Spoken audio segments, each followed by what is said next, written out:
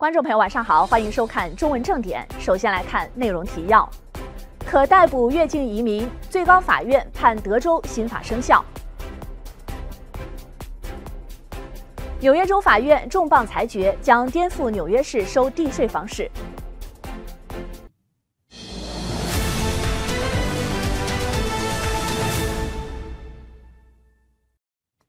在新闻节目的开始，很高兴和大家分享中文正点现在已经正式上线 YouTube 了。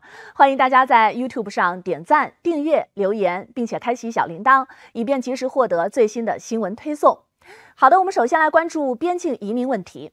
今天，最高法院判决德州一项有争议性的新法生效，该法赋予德州警察逮捕越境移民的权利。不过，今天的判决仅针对拜登政府提出的紧急请求，因此，尽管目前该法律生效，但仍面临下级法院的诉讼，今后也仍可能被推翻。保守派占多数的最高法院，在三名自由派大法官持反对意见的情况下，拒绝了拜登政府提出的紧急请求。该请求称，各州无权就移民问题进行立法，联邦政府拥有对移民问题的唯一立法权。但自由派大法官索托马约尔今天在反对意见中写道：“法院为一项法律开了绿灯，该法律将颠覆联邦与州之间长期的权力平衡，并造成混乱。”除索托马约尔以外，大法官卡根和杰克逊也反对这一决定。保守派大法官之一的巴雷特单独撰文指出，上诉法院尚未权衡这一问题。保守派大法官卡瓦诺也持这一观点，因此在法庭上，保守派以六比三占多数。这项德州法律被称为 SB4，允许警方逮捕非法越境和多次入境的无证移民，并处以刑事处罚。他还授权州法官下令将这些人驱逐到墨西哥。司法部副部长普雷洛加反驳了德州的观点，认为在国会已制定相关法律的情况下，联邦法律应优先于州法。而德州认为其法律可以根据宪法中的州战争条款来对抗边境的入侵。但普雷洛加强调，激增的无证移民并不构成州战争条款中所定义的入侵。值得注意的是，尽管今天该法律生效，但它仍面临下级法院的诉讼，今后也仍可能被推翻。好的，我们再来关注前总统川普。川普今天称，要求他因纽约欺诈案而支付四点六亿元保证金是违宪的、非美国的，而且这可能使他被迫低价出售自己的资产。川普的律师昨天通知法庭，川普无法在下周截至日期之前拿出四点六四亿元的全部保证金。就此，川普今天在他的 Truth Social 平台上写道：“在腐败、种族主义的詹乐霞的非法政治迫害中，民主党俱乐部控制的法官设定这种规模的保证金是违宪的、非美国的、前所未有的，对任何公司来说都是几乎不可能做到的，包括像我这样成功的公司。”他还补充说，担保公司都说以前从未听说过这种规模的保证金，他们也没能力提供如此规模的保证金。川普的律师昨天表示，不可能拿出全额保证金，而且许多公司都有内部政策，不批准超过一亿元的担保。川普今天在 Truth Social 上进一步称，恩戈隆法官实际上想让我拿出上亿元来争取对他那荒谬裁决的上诉权。换句话说，他试图剥夺我的上诉权。川普还说：“我将被迫抵押或出售伟大的资产，也许会贱价出售。如果我赢得上诉，他们就会消失。明白了吗？政治迫害、选举干涉。”川普的法律团队此前辩称，川普无法将财产作为抵押，因为川普集团拥有强大的资金流动性，但他没有十亿元的现金或现金等家物。律师们写道：“因此，对于像川普集团这样大部分资产都投资于房地产的公司来说，获得四点六四亿元保证金实际上不可能。”上个月，法官恩戈隆命令川普在这起民事欺诈案中支付近三点五五亿元罚款，这对川普家族在纽约的商业帝国造成了沉重打击。川普目前正提出上诉，并称这起案件是由他的政治对手拜登总统精心策划的，还承诺将为推翻判决而战。但随着法律过程的进行，川普需要支付的总金额将继续增加。前总统川普的白宫顾问纳瓦罗今天在迈阿密的一个联邦监狱自首，他因此成为历史上第一位因藐视国会罪而入狱的前白宫官员。Going over there. So the the little story here is Navarro's going to prison today. 前总统川普的白宫顾问纳瓦罗周二在迈阿密的一个联邦监狱自首。他成为了第一位因藐视国会罪而入狱的前白宫官员，这创造了历史。纳瓦罗入狱前接受了媒体采访，坚称他的定罪是对宪法三权分立和行政特权的致命打击。This is not about me. Uh, one of the big stories is about what is really um, an unprecedented assault on the constitutional separation of powers. 纳瓦罗因拒绝配合国会众议院特别委员会对一月六日国会骚乱的调查而遭指控，并于一月被判处四个月监禁。纳瓦罗提出上诉。他坚持认为，当他拒绝遵守委员会的要求时，他受到行政特权的约束。但负责此案的法官裁定，没有证据表明他援引了这一特权。华盛顿特区巡回上诉法院已经驳回了他推迟判决的请求，认为他不太可能获得新的审判或推翻对他的定罪。纳瓦罗的律师敦促最高法院发布紧急命令，并暂停他的自首进程。就在周一。最高法院首席大法官罗伯茨驳回了纳瓦罗免于入狱的企图，这为他周二开始在佛州服刑四个月扫清了道路。据悉，纳瓦罗将在佛州的一所低警戒的监狱服刑。纳瓦罗并非第一个因无视一月六日委员会的要求而被定罪的川普政府官员，但他将是第一个被判罪而入狱的人。前白宫首席策略师班农被判两项藐视国会罪，并被判处四个月监禁，但负责此案的法官在班农上诉期间暂停了他的刑期。来关注华人家长普遍关心的 SAT 考试。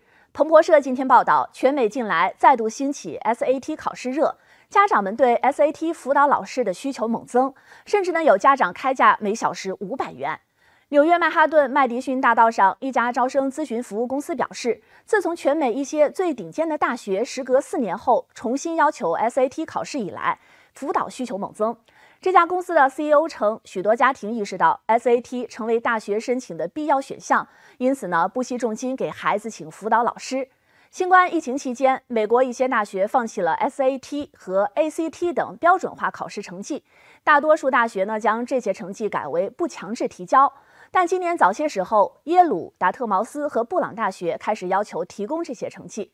反对者认为，家境优越的学生往往更能在辅导上呢花重金提高成绩，因此呢，这实际上削弱了公平竞争，不应该有 SAT 要求。那事实真是如此吗？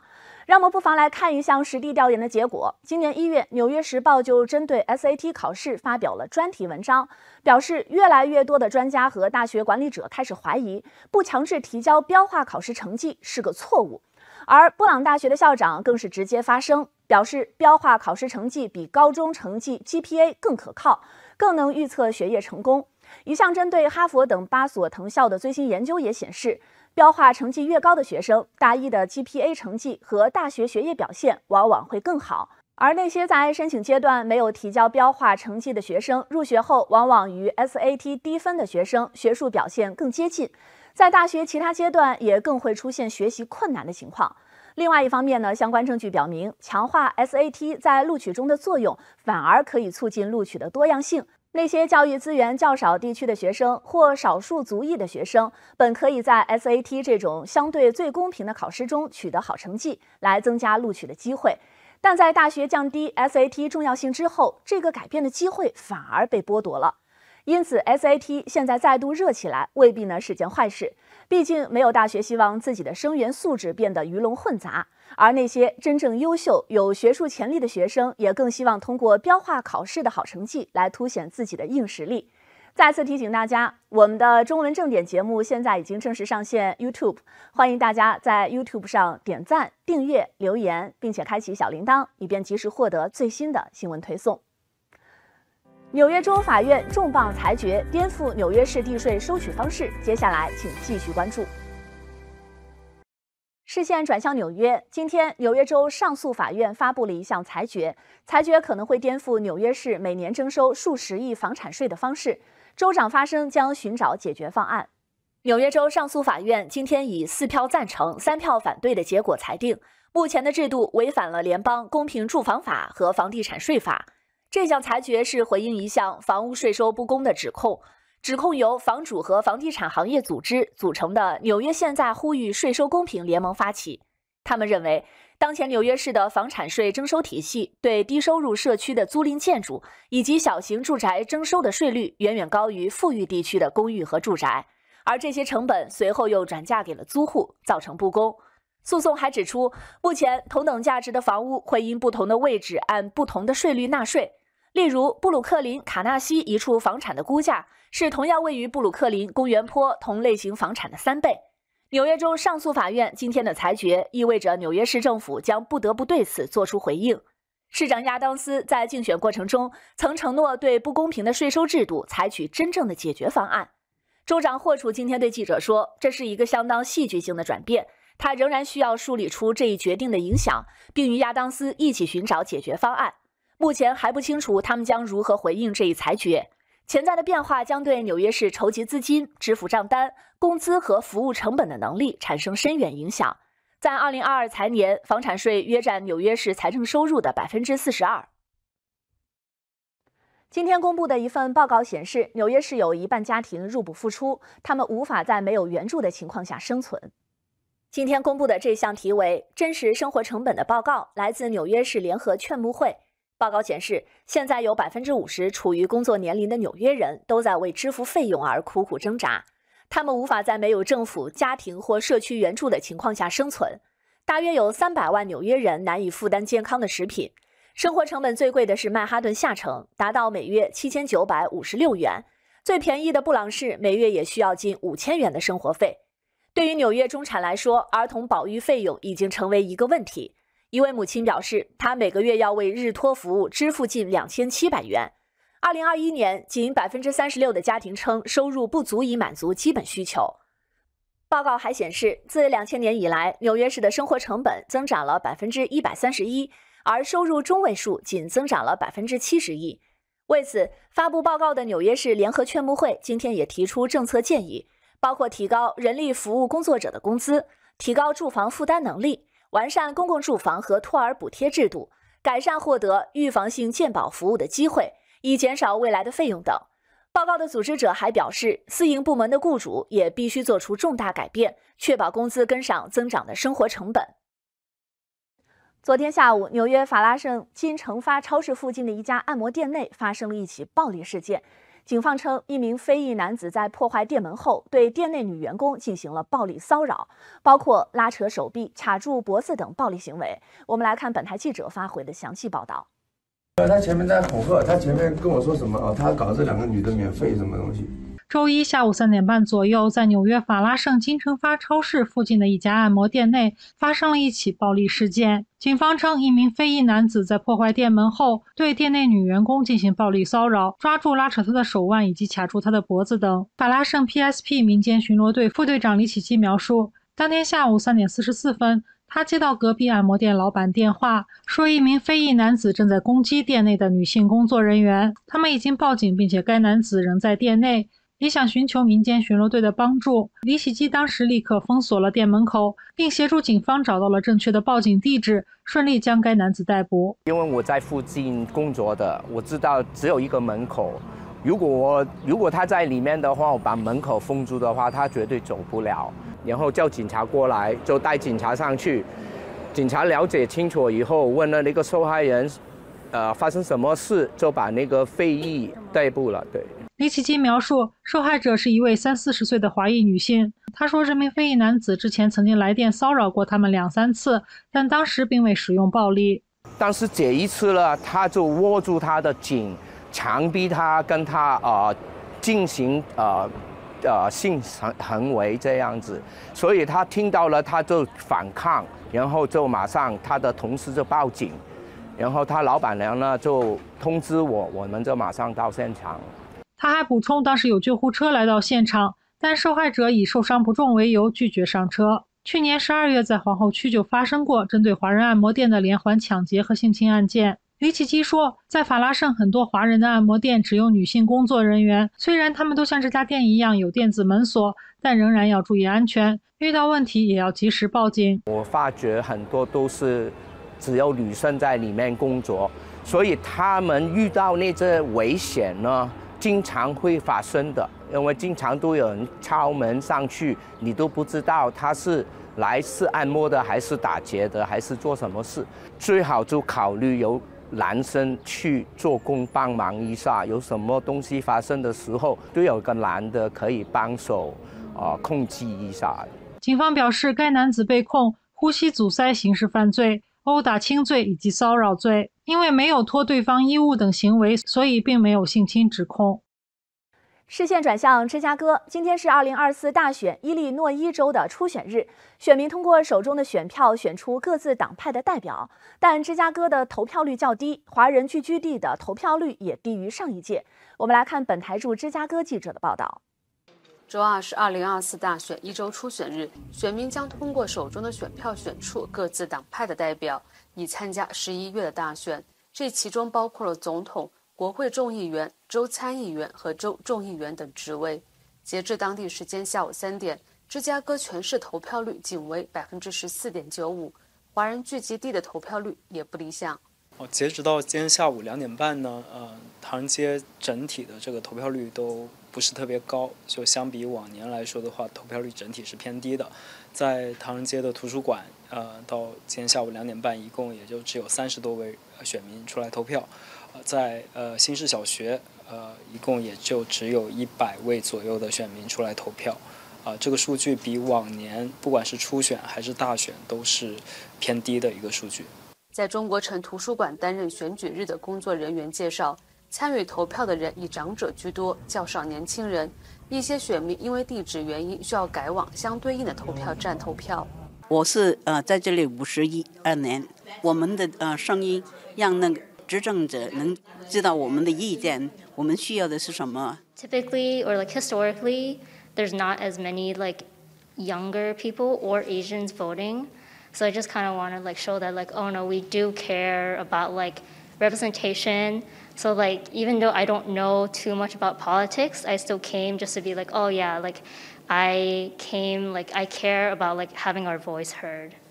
华埠更好团结联盟国民参与经理肖永刚表示，今年初选中不少职位的候选人缺乏竞争性和悬念，尤其是备受关注的总统候选人，这也是导致投票率低的原因之一。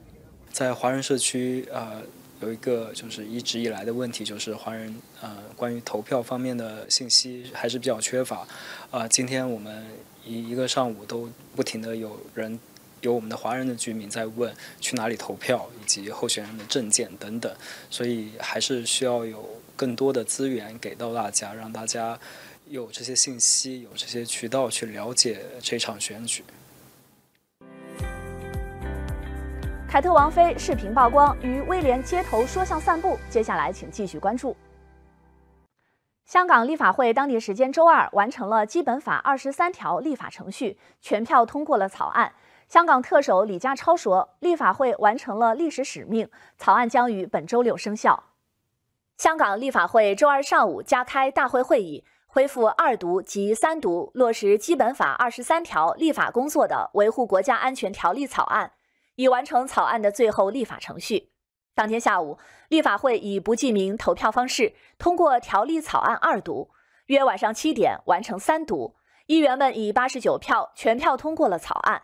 香港立法会主席梁君彦也在三读时投票。他说：“立法会主席一般不会投票，但这是历史性时刻，是维护国家安全的重大工作，所以和所有议员一起投票支持。”香港特首李家超在三读通过条例草案后。进入立法会发表演讲，他说：“今天是香港的历史性的时刻。”继续关注中国新闻。当地时间周二，北京、辽宁沈阳、浙江台州相继发生三起汽车撞行人事件，均造成多人死伤。周二早七点左右，辽宁沈阳发生交通事故，现场画面显示，肇事车辆在撞击后逆向停靠在人行道上，车头撞上电线杆并已凹陷。据称，肇事车辆的副驾驶座位上还放置着一瓶钢制气罐。这起事故造成至少三人死亡，两人受伤，伤者已送往医院进行紧急救治。二十六岁的司机张某已被控制。而这起事故发生后没多久，周二早上十一点二十分左右，浙江台州通告了另一起事故：当地一所高校发生汽车撞人事件，一辆小型汽车在连续碰撞后，造成三人死亡，十六人受伤。目前，当地警方已控制肇事司机。不仅如此，同在周二当天晚上八点左右，北京市东城区发生了一起汽车蓄意撞人事件。一辆黑色汽车冲入非机动车道，造成多人死伤。现场画面显示，多人躺在地上一动不动，到处都是玻璃碎渣和摩托车碎片。事故发生后，肇事车辆司机还下车叫嚣，辱骂围观群众。目前，当地交通部门正在分别进一步调查这三起事故。这几天，邯郸初中生杀人案备受关注。截止到北京时间周二，邯郸警方宣布尸检已经结束，并回应了更多的案件细节。警方表示，从报案到现在，尸检已经结束。针对网上流传的有成年人参与作案等猜测，警方也给出了明确的说法，称经技术部门勘验，坑深只有五十六厘米。所以网上说坑深两米多有大人参与是不属实的。此外，警方还表示，经过连日来的侦查，初步认定这是一起有预谋的犯罪案件。为掩埋尸体，犯罪嫌疑人分两次在废弃大棚进行了挖掘。第一次是三月九号，然后案发当天又在现场挖了一次。一名律师表示，本案中的嫌疑人虽未成年，但中国最高检大概率会判犯罪嫌疑人负刑事责任。三月十号。河北邯郸十三岁初中男生王子耀被杀害，嫌犯是三名不满十四岁的同班男同学。由于案件犯罪手法非常残忍，而且涉及未成年人如何承担刑事责任的话题，该案引发广泛关注。视线转向英国，上周六，凯特王妃在从公众视野消失两个月后，首次公开露面。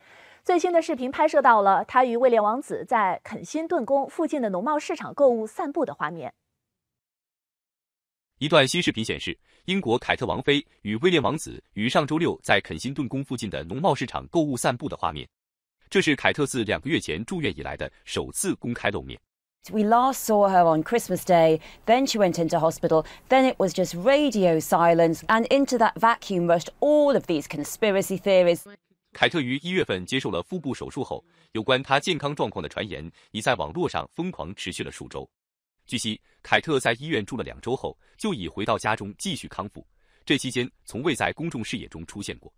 I do think they were expecting and hoping that people might see them, might take a photo of Kate looking great, looking healthy, walking. 在此次散步的画面曝光前，凯特于英国母亲节当天在社交媒体上分享了一张她与三个孩子的全家福照片，这让各种阴谋论达到顶峰。But all the photoshopping it, it caused more chaos. 在照片发布数小时后，各大国际图片社纷纷发布了删除这张照片的通知，因照片中多处被发现有修图痕迹，还担忧凯特被皇室操纵。凯特随后还在社交媒体上发表声明，为这张照片造成的混乱道歉。此事大大降低了公众对肯辛顿宫发布的照片的可信度。除此次照片的风波外，有更多网友指出，还有一张由凯特去年拍摄的已故女王与孙子曾孙的照片也被发现了有十多处经过修图软件处理过的痕迹。It's been a PR disaster. 今年一月，凯特住院时，英国官方表示，预计他要到复活节后才能恢复公职。另外，前总统川普在周二接受采访时，对凯特照片风波表示，每个人都会修自己的照片，这不是什么大事。还用电影演员的修图方式与凯特做对比，表示演员修完的图往往与真实的自己有很大区别。但凯特王妃发布的照片中，仅仅只是小地方进行了修改，民众不应有这么大的抵触反应。新闻节目的最后，再次提醒您，我们的中文正点节目现在已经正式上线 YouTube，欢迎大家在 YouTube 上点赞、订阅、留言，并且开启小铃铛，以便及时获得最新的新闻推送。好的，今天的新闻节目到这里就全部结束了，感谢您的收看，祝您晚安。